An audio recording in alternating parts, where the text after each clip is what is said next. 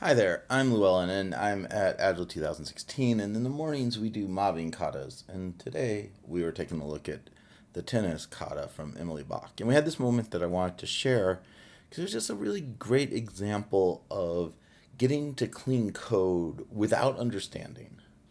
So here you had this method here, score, and we'd gotten it here and we had no real idea what it did. But there was this interesting thing, which is that for loop has a hard-coded stop at, at 3, which means it only does 1 and 2. So we said, hey, let's unroll that for loop. So we do it once, and then we do it twice. And the first time that we do it, well then i is going to be equal to 1.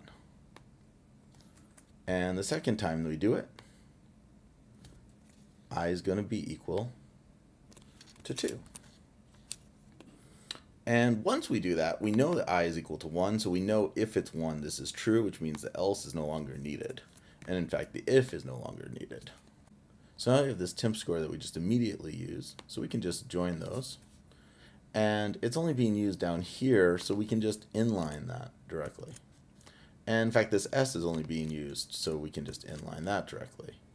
And this i being 1 is no longer relevant, so we can get rid of that. Redeclare it down here. Let's give that a format.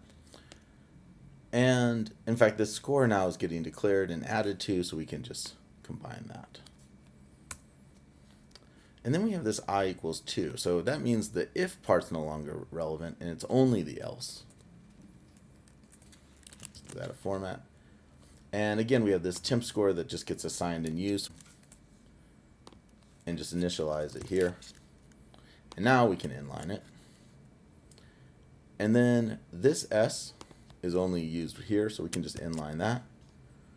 And then the fact that I is 2 is meaningless here, so we can get rid of that.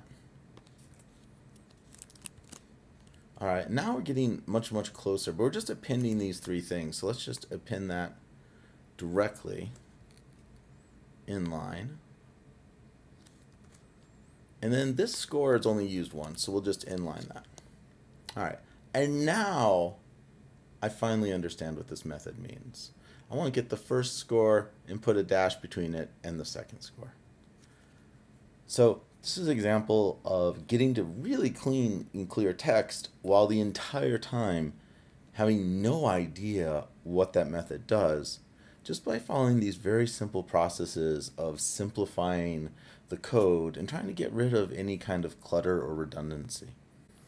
Hopefully this was interesting to you as well. Thank you very much and have fun refactoring.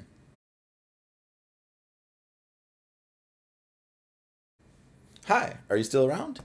Maybe you want to check out a longer video on refactoring. Here's one Woody and I did about going through a long piece of code, two minutes at a time.